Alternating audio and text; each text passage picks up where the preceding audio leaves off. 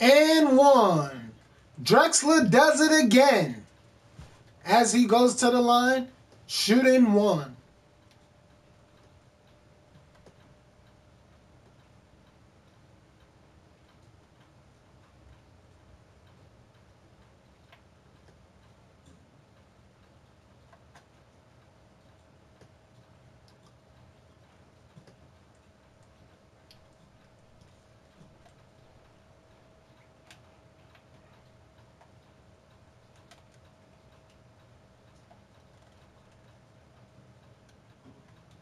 Drexler makes it.